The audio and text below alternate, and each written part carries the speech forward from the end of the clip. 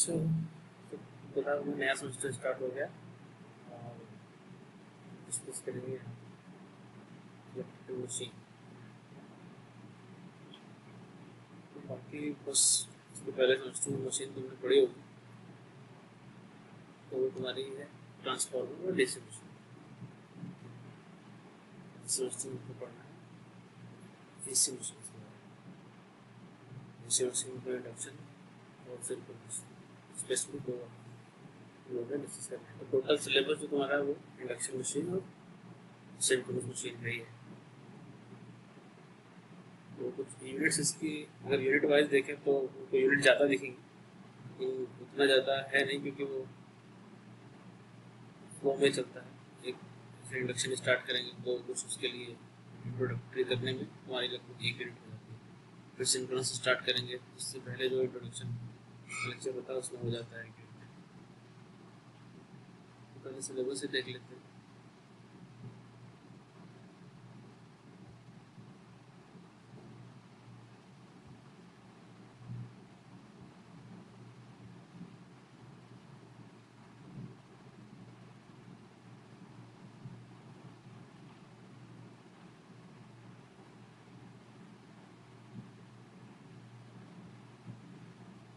दिख रही है।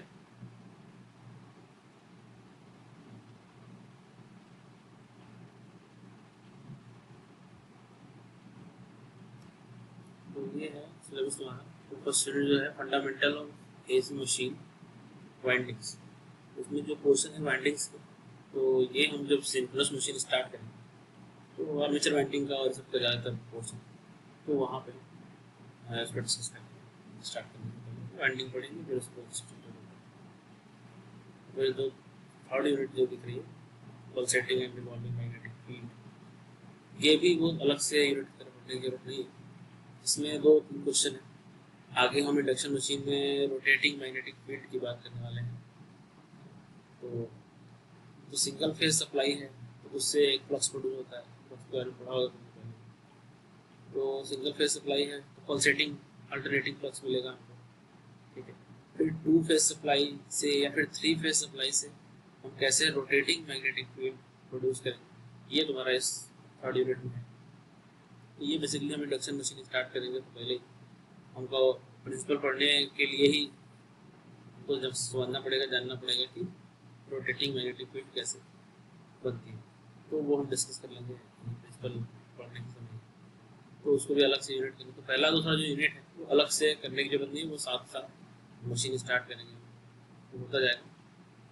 तो बेसिकली तुम्हारे पास सीधे इंडक्शन मशीन है दोनों थ्री फ़ेज़ और सिंगल फ़ेज़ और फिर उसके बाद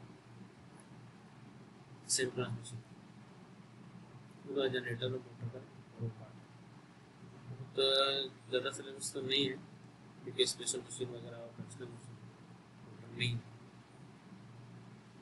अगर हम उस सिस्टमेटिक क्लास को पढ़ें तो अच्छे से पढ़ लेंगे और उनमें भी हो जाएगा।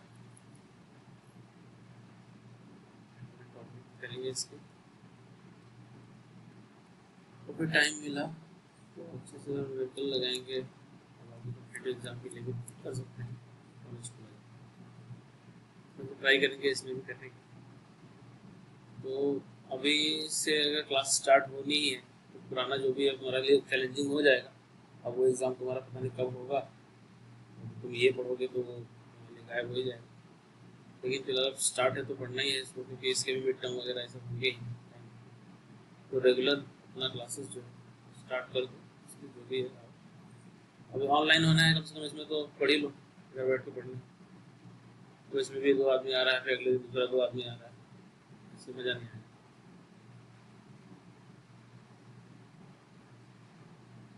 और मशीन अगर समझनी है ना तो इसमें थोड़ा सा कंटिन्यूटी ज़रूरी है। समझने वाली चीज़। वो समझ गए तो फिर तुमको आता है। जैसे कोई भी मशीन होती है कोई भी मशीन मान लो तुम्हारे बाइक भी है, वो मशीन है, कुछ भी छोटा चीज़ चलाते हो, घर में वो मशीन है तो तुमको उसका हिसाब किताब पता है ये कैसे चलती है, इसमें क्या है क्या क्या है सरस तो उसको तुमको पढ़ने की ज़रूरत नहीं पड़ता। तो वैसे ही मशीन है। एक बार अगर तुम समझ गए क्या क्या उसमें पार्ट लगा हुआ है और किस किस पार्ट का क्या रोल कैसे चलती है तो फिर हमारे लिए वो एक खिलौने जैसा मशीन जैसा ही है। उनको सब पता रहेगा। और बार बार उनको पढ़ने की ज़रूरत नहीं पड़ेगी। ठीक है तो इसमें कंटिन्यूस रहोगे क्लास में और स्टेप बाय स्टेप सीखते जाओगे। तुम्हारे लिए बहुत अच्छा सब्जेक्ट है। इसका कॉन्सेप्ट बन जाएगा। और अगर नहीं बना, सोचोगे पढ़ लें एग्ज़ाम में पास हो जाएँगे तो फिर तुमको समझ में कुछ नहीं आएगा। तो क्या लिखें, उसमें क्या पढ़ें? फिर तो कुछ भी लिखते हो, कुछ भी पढ़ते हो। और मशीन इंपॉर्टेंट बहुत है तुम्हारे लिए, इसलिए क्योंकि भाई इलेक्ट्रिकल इंजीनियरिंग में है। किसी भी कम्पिटेटिव एग्ज़ाम में। मेजर पार्ट है तो अब एक मशीन तुम्हारा हो गया। अब उसमें तुमको कितना आता है पता नहीं। वो भी हम चेक करते रहेंगे बीच बीच में। उसकी बात भी करेंगे लेकिन कुछ आता है। फिर हमारा अब ऑनलाइन ही चल रहा है तो टाइम मिला तो मशीन वन भी कर लेंगे। कुछ इम्पोर्टेंट पार्ट रहेंगे एग्ज़ाम तो देना है ही है, उसका भी तुमको। आगे चल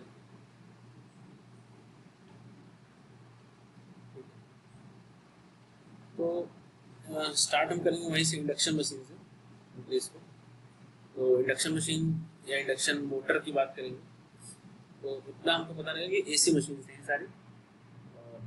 थ्री फ़ेज़ सबसे पहले थ्री फ़ेज़ इंडक्शन मोटर की बात करेंगे। तो इसका बेसिक पहले जो एग्ज़ाम की बात करें क्वेश्चन से तो तुम्हारा सीधे एक बहुत इंपॉर्टेंट क्वेश्चन होता है कि रोटेटिंग मैग्नेटिक फ़ील्ड कैसे प्रोड्यूस होती है। थ्री फ़ेज़ इंडक्शन मशीन तो थ्री फ़ेज़ सप्लाई से हम कैसे रोटेटिंग फ़ील्ड जनरेट करते हैं?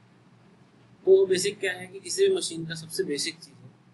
तुमने डीसी पढ़ा होगा या ट्रांसफॉर्मर पढ़ा होगा तो भी सीखा होगा, जाना होगा, कि अगर मशीन में ईएमएफ इंड्यूस होना है, ठीक है, कोई मशीन है, उसमें ईएमएफ इंड्यूस होना है फैराडेज लॉ लगना है तो क्या ज़रूरी है? ज़रूरी यह है कि फ्लक्स और कंडक्टर का इंटरेक्शन होना चाहिए। फ्लक्स और कंडक्टर का इंटरेक्शन ज़रूरी है। फ्लक्स और कंडक्टर का इंटरेक्शन कैसे होगा? या तो फ्लक्स रोटेटिंग हो कंडक्टर स्टेशनरी हो। मतलब रिलेटिव मोशन होना चाहिए फ्लक्स और कंडक्टर ठीक है? तो फ्लक्स स्टेशनरी हो कंडक्टर रोटेटिंग हो। या तो ऐसा केस हो। ऐसा केस कहाँ था? कि फ्लक्स स्टेशनरी है और कंडक्टर रोटेटिंग है।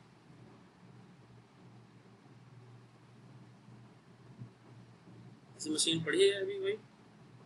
इसमें दोनों फ्लक्स स्टेशनरी हो और कंडक्टर हो रोटेट करना। इस तरह का फ्लक्स और कंडक्टर में रिलेटिव मोशन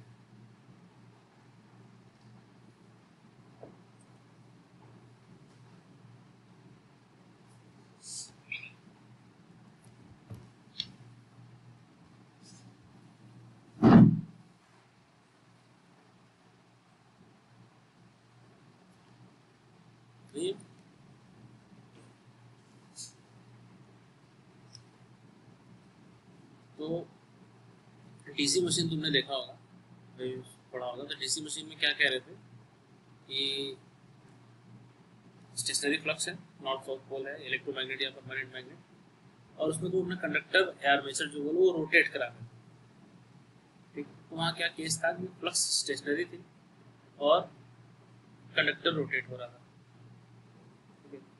तो वहाँ से रिलेटिव मोशन से हमारे कंडक्टर में ई एम ईएमएफ इंड्यूस हो रहा था ईएमएफ इंड्यूस हो रहा था, फिर आगे की चीज़। फेराडेज लॉ से फेराडेज लॉ क्या कहता है कि? जो भी कंडक्टर है फ्लक्स को कट करेगा फ्लक्स कंडक्टर को कट करेगा तो ये ईएमएफ इंड्यूस होगा और वो होगा minus d five by d t rate of change of flux के बराबर। ये फेराडेज सेकेंड लॉ होता है। तो कुल मिला के इंट्रैक्शन या फ्लक्स लिंकेज कंडक्टर के साथ ज़रूरी है। तो एक तरह का तो ये हो सकता है जो हमने बात की डीसी मशीन में तुमने पढ़ा। दूसरा ऐसा हो सकता है कि फ्लक्स रोटेटिंग हो और कंडक्टर स्टेशनरी जस्ट उल्टा। फ्लक्स रोटेटिंग हो और कंडक्टर स्टेशनरी हो, तब भी रिलेटिव मोशन होगा और फ्लक्स और कंडक्टर का आपस में इंटरेक्शन होगा लिंकेज होगा और ई एम एफ़ इंड्यूस होगा। फिर आगे की जो भी प्रोसेस बना होगा मशीन जैसे भी पढ़ेंगे जनरेटर मोटर वो बात करेंगे। ठीक है? एक तरीके का ये हो सकता था कि फ्लक्स भी स्टेशनरी हो और कंडक्टर भी स्टेशनरी हो और फिर भी उसमें ई एम एफ़ इंड्यूस्ड तो फिर वो कैसे पॉसिबल है? उसका केस देखा है कहीं?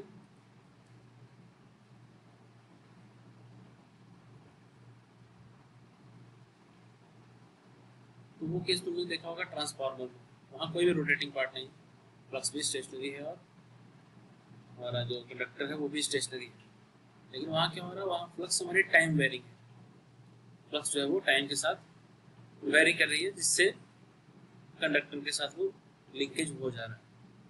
और हमारा ये प्रोड्यूस हो रहा है फेराडेज लॉ से तो वो ट्रांसफार्मर का केस दो केस तुमने पढ़ लिए। एक केस जहाँ कंडक्टर रोटेट कर रहा था फ्लक्स स्टेशनरी था दैट इज़ डीसी मशीन दूसरा केस जहाँ दोनों स्टेशनरी थे बट फ्लक्स जो है तुम्हारा टाइम वेरिंग था।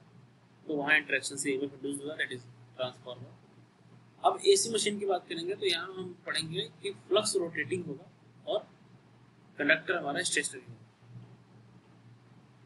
फ्लक्स रोटेटिंग होगा। कंडक्टर स्टेशनरी होगा, कुछ रिलेटिव मोशन रहेगा। और फिर उस प्रिंसिपल पे फेराडेज से हमारा चीज़ें स्टार्ट होंगी। बेसिक एकदम एक लेआउट में तुमको बता देता हूँ, अभी एक वीडियो भी दिखाऊँगा कंस्ट्रक्शन का। तो बेसिक हिसाब किताब ये होगा कि एक थ्री फ़ेज़ सप्लाई होगी तो एक स्टेटर होगा स्टेशनरी पार्ट होगा। थ्री फ़ेज़ वाइंडिंग उसमें की रही होगी। थ्री फ़ेज़ सप्लाई देंगे हम उसको। भाई मोटर है अगर इंडक्शन मोटर की बात कर रहे हैं जैसे। तो मोटर है तुमको मालूम है क्या कि इलेक्ट्रिकल इनपुट देना है और मैकेनिकल आउटपुट लेना है? तो थ्री फ़ेज़ इनपुट देंगे स्टेटर पार्ट को। तो क्या होगा? थ्री फ़ेज़ सप्लाई दिया हमने बैलेंस सप्लाई उससे क्या होगा? एक रोटेटिंग मैग्नेटिक फ़ील्ड जनरेट होगी थ्री फ़ेज़ सप्लाई से। मैग्नेटिक फ़ील्ड जनरेट होगी इसका मैग्नीट्यूड कांस्टेंट रहेगा बट वो फेजर जो है वो रोटेटिंग होगा स्पेस में। तो रोटेटिंग मैग्नेटिक फ़ील्ड जनरेट होगी तो ये हमारा स्टेटर हो गया तो इसके बीच में जो एयर गैप है उसमें रोटेटिंग मैग्नेटिक फ़ील्ड तुम्हारी घूमती रहेगी और कुछ एन एस स्पीड से सेंटोनस स्पीड से वो होगा one twenty f by p उससे वो घूमेगी। ठीक है? और उसके बीच में तो ये हमारा स्टेटर हो गया तो बीच में उसके रोटर जो है वो स्टेशनरी पड़ा रहेगा तो उससे पहले ऐसा रहेगा। फिर उसके बाद जो फ़ील्ड है, वो पता है रिलेटिव मोशन हो गया फ़ील्ड घूम रही है रोटर जो है बीच में। तो ये स्टेटर है, बीच में एयर गैप है, वहाँ फ़ील्ड हो गया, ये तुम्हारा रोटर है। अभी रोटेट नहीं हो रहा, अभी वो स्टेशनरी है। तो फ़ील्ड अभी घूम रही है बीच में एयर गैप में। फ़ील्ड घूम रही है स्टेशन कंडक्टर जो रोटर है, वो स्टेशनरी है। रिलेटिव मोशन होगा ई एम एफ़ इंड्यूस्ड होगा। इसके बाद ई एम एफ़ इंड्यूस्ड होगा तो भाई चूँकि शॉर्ट सर्किटेड रोटर है कंस्ट्रक्शन दो टाइप के हम पढ़ेंगे। स्क्वायरल केज और स्लिप रिंग अभी बात करेंगे। तो स्क्वायरल केज जो कंस्ट्रक्शन होता है, वो बहुत शॉर्ट सर्किटेड होता है, दोनों ही से। तो हम मान लेंगे कि शॉर्ट सर्किटेड है तो जैसे ही ई एम एफ़ इंड्यूज होगा रोटर में, उसमें एक करंट भी फ्लो होगी, क्योंकि वो शॉर्ट सर्किटेड है। तो जैसे ही करंट फ्लो होगी तो करंट से ही तो फ्लक्स प्रोड्यूस होता है। तो समझो कि रोटर का एक और फ्लक्स प्रोड्यूस हो जाएगा। अब वो दोनों फ्लक्स एयर गैप में आ जाएँगे। एक तो स्टेटर का फ्लक्स और रोटर का फ्लक्स और दोनों रोटेटिंग मैग्नेटिक फ़ील्ड से घूम रहे होंगे। ठीक है? घूम रहे होंगे। अब दोनों फ्लक्स के इंट्रैक्शन से एक टॉर्क लगेगा और टॉर्क से फिर रोटर घूम जाएगा। या फिर तुम ऐसा भी समझ सकते हो कि अगर करंट फ्लो होना स्टार्ट हो गई एक बार रोटर में तो तुमने मोटर का प्रिंसिपल पढ़ा था कि क्या? Current carrying conductor placed in a magnetic field experiences of force current carrying conductor हो गया, और फ़ील्ड तो है ही, चारों तरफ़ घूम रही है। तो फोर्स लगेगा और वो घूम जाएगा। तो ये तो घूम जाएगा, ये कैसे मोटर स्टार्ट होगा, ये तुमको पता है, पता लग गया बेसिक एकदम, हल्का मुल्का आइडिया ठीक है? कैसे स्टार्ट होगा? लेकिन फिर थोड़ा और डीप प्रिंसिपल में जाएँगे तो ये देखेंगे कि जो तुम्हारी रोटेटिंग मैग्नेटिक फ़ील्ड हुई, पहले तो वो किस डायरेक्शन में घूम रही है? एक सवाल ये होगा। दूसरा सवाल तुम्हारे सामने आएगा कि ये मोटर स्टार्ट कैसे हुई, जिसका हमने अभी डिस्कस किया कि भाई फ़ील्ड घूम रही थी, उसने कंडक्टर को कट किया कंडक्टर में ईएमएफ इंड्यूस हुआ, और फिर चूँकि कंडक्टर शॉर्ट सर्किटेड था तो उस पर करंट भी फ्लो हुई, और फिर current carrying conductor placed in the magnetic field experiences of force और मोटर रोटर जो है घूम गया। तो फिर अगला सवाल ये आता है कि घूम गया तो किस डायरेक्शन में घूमा?